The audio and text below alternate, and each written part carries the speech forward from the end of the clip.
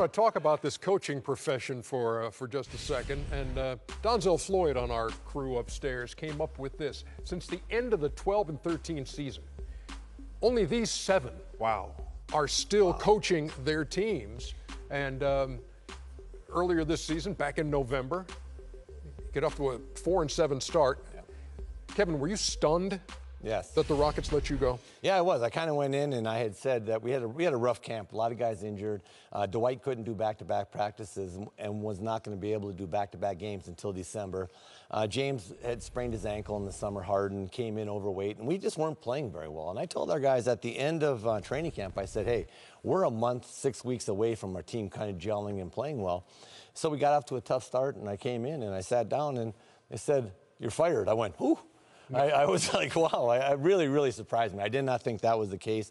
And, you know, I've never had a team that I've been with coaching that I have not been able to get motivated and get going and, and winning. And we just had a really bad, we, look, we were not playing well. I'll be the first to admit that.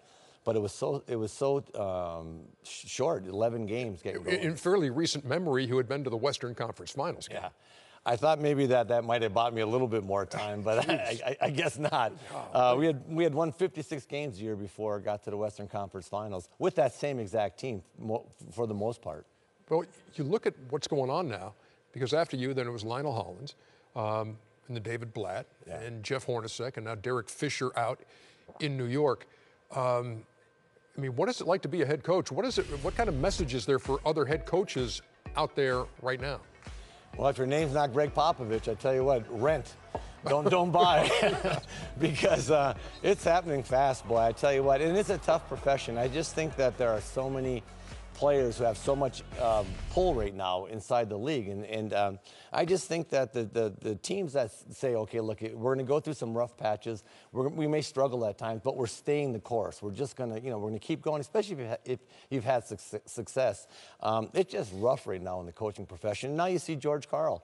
They're talking about him, and Yeah, we that's changed what- our mind. We're not going to fire him today. Right. So you're like, oh boy, what does that say about tomorrow? Exactly. You know, it's just unfortunate. And and obviously, I don't like your general manager. I thought he threw you under the bus. You were in the Western Conference Finals five months ago, and after 11 games, you I, I thought that was a disgrace and a travesty. But let's talk about the Sacramento situation. So I'm sitting around watching television this weekend, and there's on the crowd, the crawl that. The, the, the Kings are thinking about firing George Karl. First of all, this can't be very good for George Karl. You're sitting at home eating your breakfast, and they're like they're contemplating firing me. But you know what? Bad organizations are always going to be bad organizations. Mark Cuban said it earlier about the Clippers. If you look at pro sports, there's a reason in the last 30 years, uh, most of the team, it's been a very select group of teams that have actually won the NBA championship. They have stability at the top. They have a good owner who stays out. You know, th- this guy, just because you have money, that don't mean you know anything about basketball. That just means you're rich.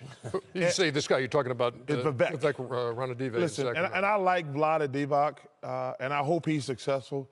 But these guys have had seven coaches in seven years, basically. At some point, you have to blame your players. At some point, it's not the coaches. And I think, and I'm, I'm not saying it just because Kevin's here, I think what's happening in the NBA today, and Kevin just touched on it, we're giving these players so much power, and we're giving general managers cop outs. They keep firing coaches and they get to stay there longer. Instead of saying, we didn't do a good job of drafting players or trading for players, I think you get to throw three or four coaches under the bus. And these owners need to, number one, stay out of it or get general managers and hold them accountable.